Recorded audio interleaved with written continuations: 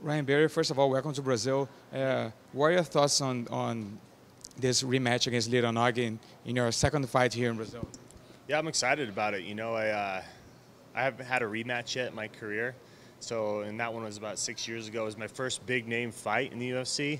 And so for me, I, I just want to see, it's a good gauge for me to see how much I've grown since then. You know, going into that first fight, I was pretty much purely a wrestler, had a good overhand right. But that's about it, you know. So for me now, you know, I'm proficient in my stand-up, jiu-jitsu, my wrestling, putting it all together. So uh, it's a good gauge, and I'm, uh, I'm excited.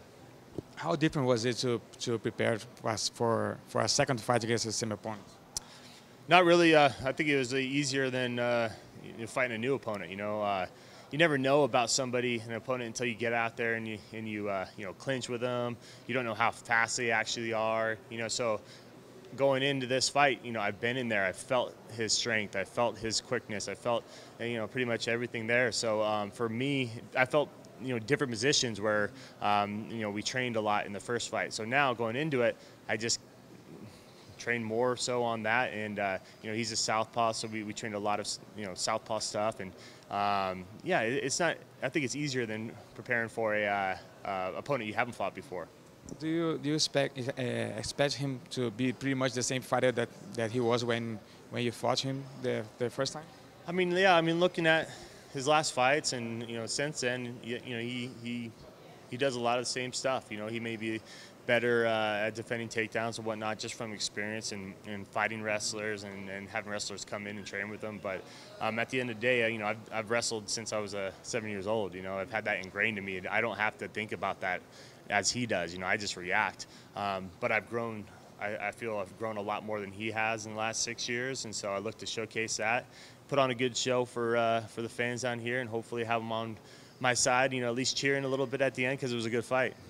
Uh, in in which area do you, do you feel you have evolved more since the first fight? On my stand up, for sure. You know, uh, my first fight, I was just I didn't know what I was doing to be honest. You know, I'd go out there and try to punch him in the face. You know, now I feel like I could set things up. I um, I could throw combos. I know what I'm doing out there on my feet now instead of just kind of winging it, um, literally. So it, for me, just uh, putting it all together, really, putting my takedowns, my, my striking, and everything together. Is this the, the fight that you were expecting the UFC to offer you since if, uh, he was fighting Gustafsson and then yeah. you just came in? Not at all. You know, it's one of those things where I fought uh, Ilir Latifi in September and uh, Gustin got hurt, and they just called and offered and see seeing if I was available and wanted to fight, and I said yes, and you know that was seven weeks ago, and, and here we are. You're you're coming off a big knockout. Uh, how how how does that boost your confidence going into this rematch? Yeah, it was good momentum. You know, I went into that fight relaxed. You know, not worrying about you know different stuff. I was on a five-fight win streak, and then I lost to Anthony Johnson, and after that, I was kind of in my head thinking, all right, I'm going to go out there, I'm going to take a risk, I'm going to fight uh, more exciting and have fun out there, you know, and uh, I got a knockout, you know, and so I want to bring that same mentality into this fight. Uh, I feel good. I feel the momentum uh, is, is going well, and I'm look to continue that. Do you, do you expect a knockout in this fight too? No, I don't expect you know anything going into a fight. You know, I want to I want to just go out there and fight the best. You know, have uh, me look at that fight um, and say, all right, that's me as a fighter, you know, and uh, I feel like I can do that. If I do that, you know, I, I, believe I can get that stoppage for sure. And being five rounds, do you think it benefits you? Yeah, you know, I feel like uh, I'm more athletic, I'm younger. Um, I've been in five round fights. You know, my cardio is very, very good right now. I'm coming off a fight just recently and I went right into another training camp, so I just added on to my cardio. So uh, definitely.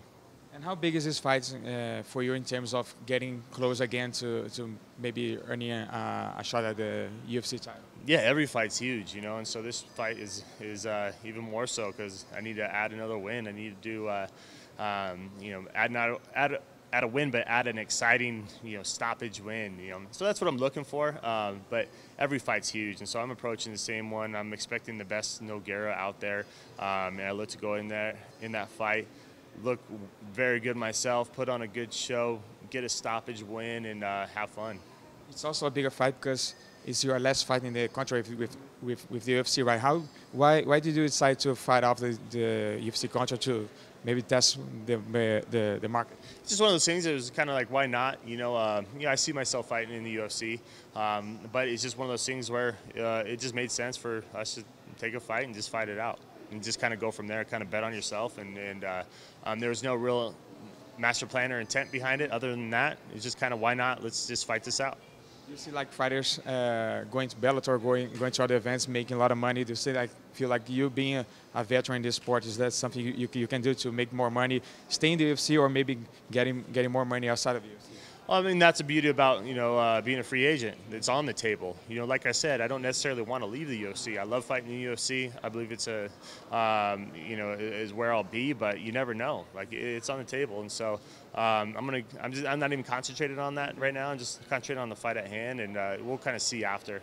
Did the UFC reach out to you uh, before often you, uh, you you just fight often you to uh, yeah, to resign.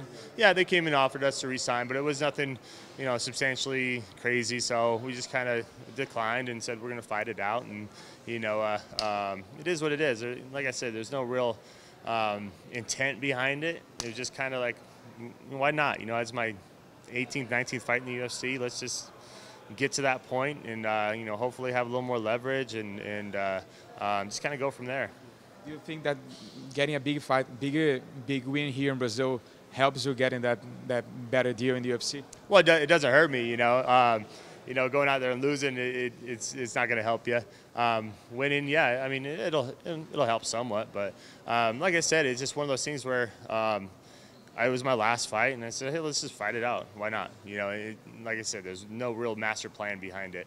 Um, but yeah, I mean, every fight going out there and winning is going to uh, boost your stock, so it's no no different with this one.